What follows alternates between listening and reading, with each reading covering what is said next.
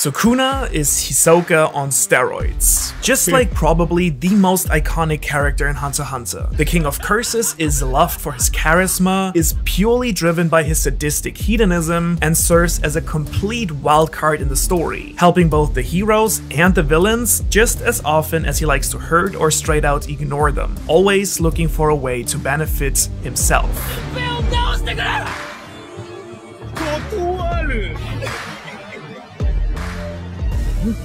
And yet, despite his cruelty, selfishness, and darkness, just like the psychopathic clown, the King of Curses is as popular with fans as most of the quote-unquote good guys. So what exactly is it that makes Sukuna so fascinating to watch? As I've already mentioned in previous videos, Akutami loves taking popular tropes from anime and manga, merge them, and improve on them. And so it comes as no big surprise that Sukuna emerges as one of the most rounded, complex, and intriguing intriguing villains that I've ever come across. So let's discuss his background, his role in the story, his relationship to Itadori, Megumi and Gojo, and whether or not he truly is all evil. This is the story of Ryomen Sukuna.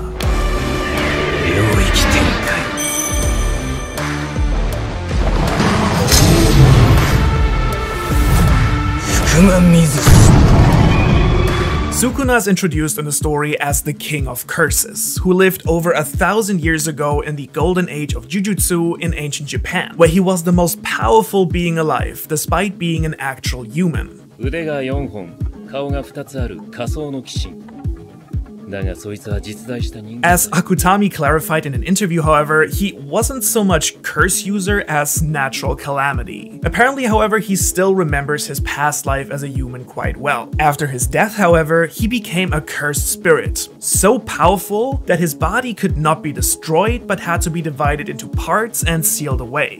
My god, this man Akutami really has a rich imagination to come up with something like, hmm?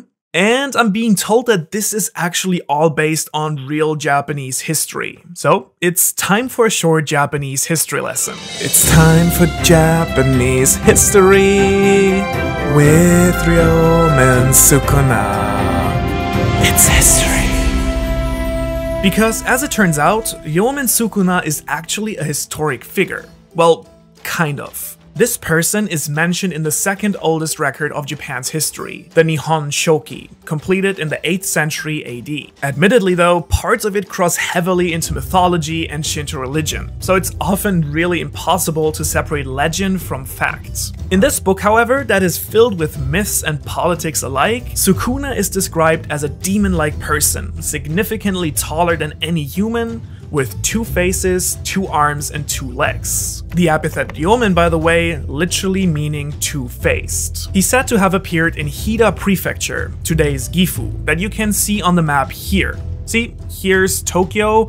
That, by the way, didn't exist back then. That That's Gifu here. I mean, I don't want you finishing this video without having learned anything, right? Anyways, here Sukuna terrorized the people until a brave military commander was finally able to expel him from the land. Interestingly enough, however, while the Nihon Shoki describes him as a villain and an enemy of the emperor, people in Hida and Mino provinces treated Ryomen Sukuna as a hero and benefactor and actually worshipped him. And there is actually a shrine just dedicated to Sukuna that still exists in Gifu Prefecture today, with a statue that doesn't look quite as cool as this.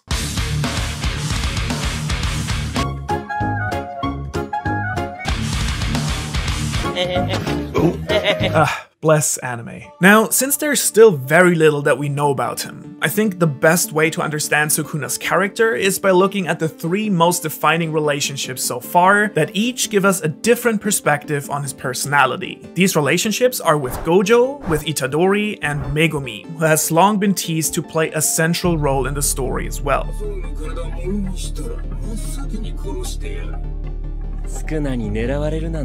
Now, as you might remember from my analysis of Gojo's character, there are a lot of parallels between these two. Being the two most self-centered and individualistic characters, both were introduced pretty much at the same time, right at the beginning of the story. One as the strongest sorcerer, and one as the king of curses. And the two of them clearly share this incredible aura of power, superiority, and total control, especially during battle.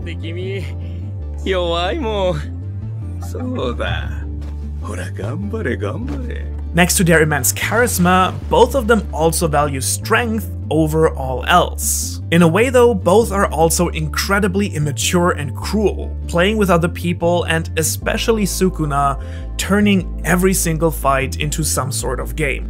こうしよう俺が勝ったら俺の縛りで生き返るいいぜボコボコに Now, these parallels that Akutami clearly draws between these two characters strongly suggest that they will face off again at some point in the story. And yet, of course, there are also some striking differences between the two that I think will help us explain Sukuna's character a little bit better. The most fundamental difference here is, of course, that Gojo is a good guy and Sukuna is a baddie.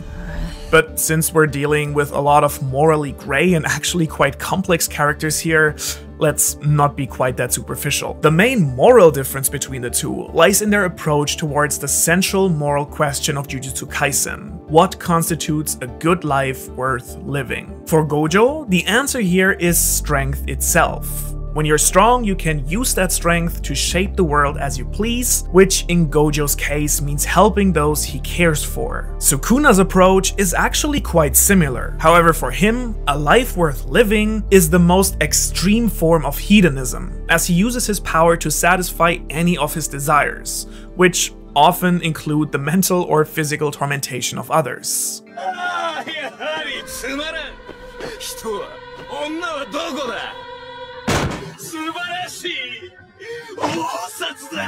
Now, in this context, Gojo's self confidence, always using his strength for the sake of others and trying to make a better world as he sees fit, are all good things. But the fact that he believes that no matter how strong he becomes, no matter how hard he fights, he'll always die alone because it's not worth becoming close to others in the Jujutsu world, is the real tragedy of his character. Sukuna, in contrast to this, either doesn't care or has reached a point of no return, having become numb to the world around him and living purely for and relying only on himself.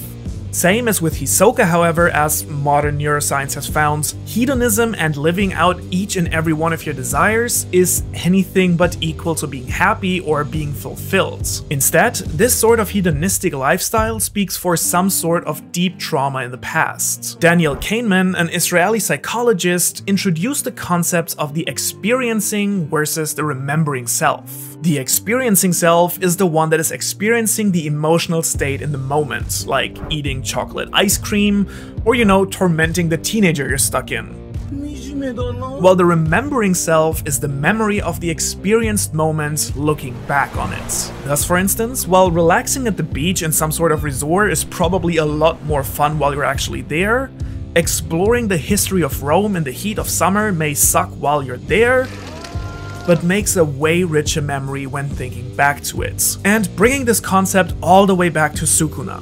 When someone is only living purely driven by the experiencing self, this usually means you prefer not to engage too much with your past and long-term consequences. And so what this tells us about the sadistic king of curses, who used to be human after all, is that he most likely had a quite tragic past that drove him into abandoning his humanity. And so unlike Mahito, who Akutami actually described as being pure evil by nature, I expect Sukuna to have a much more complex and rich background as to why he became as cruel and lust-driven as he has. And that will be one hell of a backstory for sure.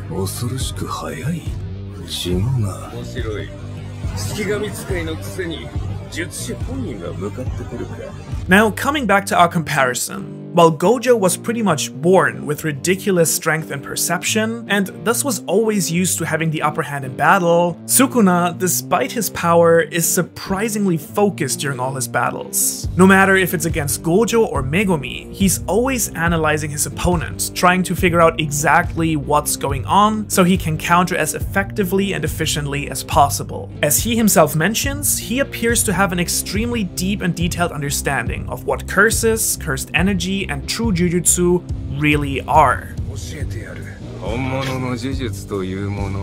And all of that would make a lot of sense, I think, if Sukuna had to struggle his way to the top from basically rock bottom.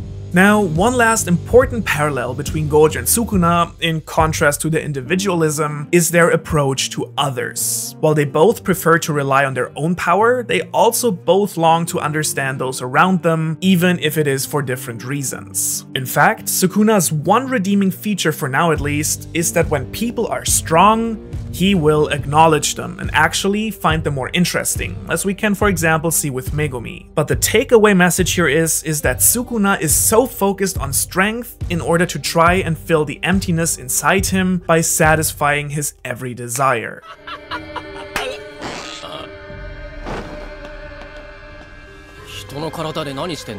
Funnily enough, he shares that trait not only with Gojo, but also with the main character, Itadori Yuji. He is the third person who also thinks that power will help him live a good life by trying to save as many people as possible. And in regards to their relationship, Sukuna not only bears similarities to Hisoka, but also unites elements from stories like Naruto, Bleach, or Attack on Titan. In other words, the trope of the vessel.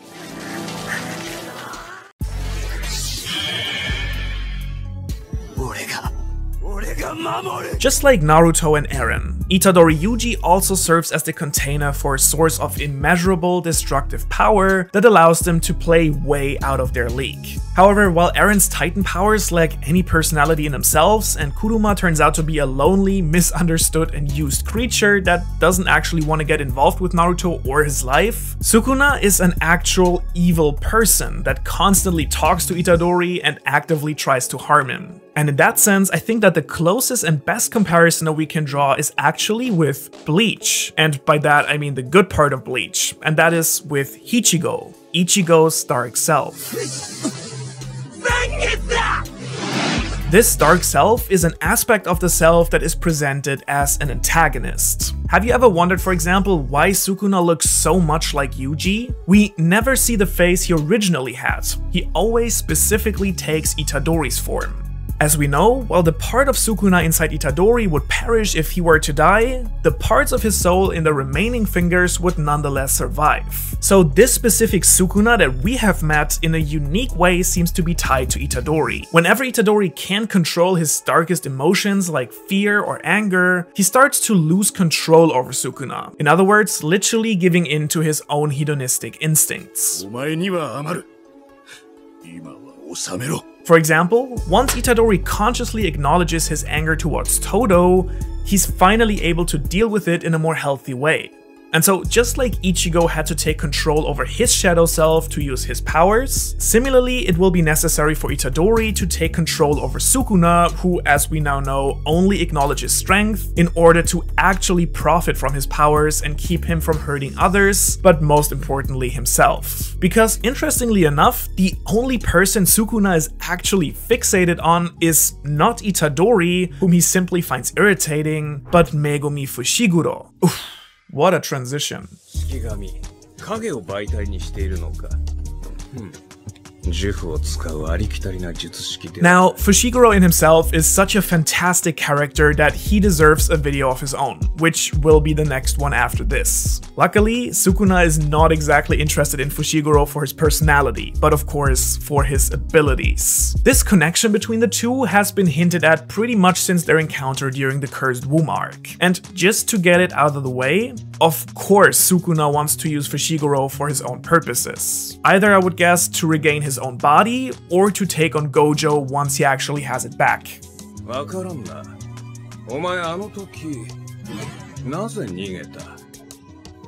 Now, these statements here were of course triggers for both Megumi and the audience alike, but for different reasons. On the one hand, Sukuna's words show that he has an interest in Megumi and his ability, while giving the audience a more in-depth idea of Sukuna's tauntful personality. On the other hand, however, they also actually help Fushiguro to grow, something that Sukuna keeps encouraging.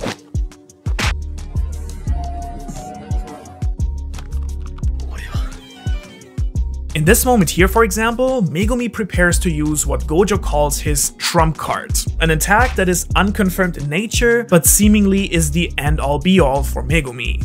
And funnily enough, both him and Gojo have much more faith in his abilities than he himself seems to have. Now, whatever it is that he sees in Megumi, it seems to make it worth reviving Itadori and actually staying in his body, something he's not exactly enjoying. After all, Yuji being a 1 in a million potential vessel was a breaking point for Sukuna to once again feel human flesh, but we also know he doesn't want to stay in Yuji's body permanently. Why not? Well, after all, Yuji can control his possession and can become stronger as he absorbs more fingers. And should he die, the fingers within him would actually die as well. Unlike with curses, where the fingers would just reappear where the curse once was, as they cannot be destroyed by normal means. 事情が変わったのだ 近いうち面白いものが見れるぞ。And so I think it will be truly fascinating to see how Sukuna's plan with Fushiguro will play out, whether Itadori will be able to get his respect, and if we will ever get a true battle between him and Gojo. Oh, yeah, before we go, I wanted to shout out Araniell Art, who did the wonderful intro animation for my Sukuna song.